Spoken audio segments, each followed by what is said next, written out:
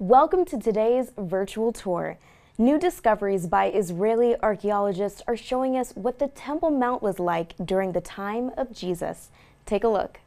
This major find came as archaeologists reconstructed 2,000 year old tiles from the second Jewish temple built by King Herod. These are the very floors upon which the high priests and uh, the priesthood and the pilgrims who came to the Temple Mount walked. And this is the floor upon which Jesus walked when he came to the Temple Mount.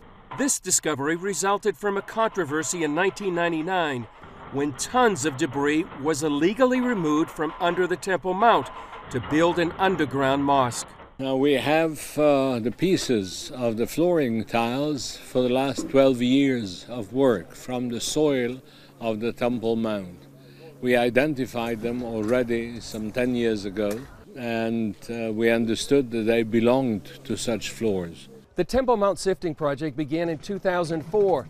For more than a decade, volunteers and staff from Israel and around the world have been examining the debris from the Temple Mount and making historic discoveries.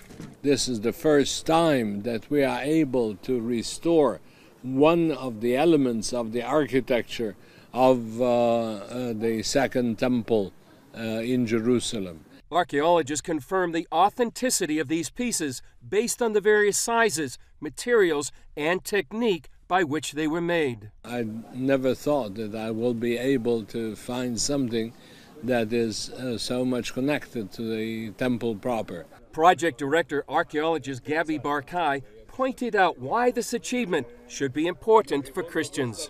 This is the very floor upon which the coins were rolling when Jesus turned uh, the tables of the money changers upside down.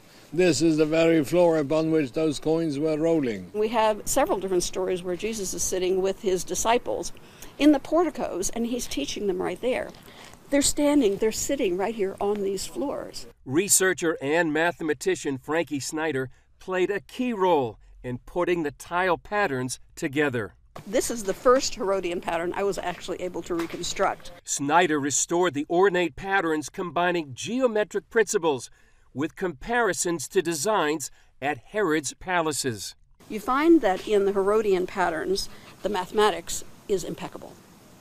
The sizes, the shapes, how they're putting these things together is just amazing. So far, about 600 colored stone floor tile pieces have been discovered. It's sort of like putting together a puzzle, but without a box top. You don't know what the picture is going to look like, and you only have about 1% of the tiles.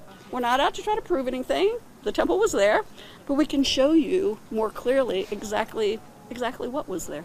For years, present day visitors to the Temple Mount imagined Herod's temple was made from white stone now, Barkai says the restoration of the floor tiles gives a deeper understanding and appreciation for the glory of the Second Jewish Temple.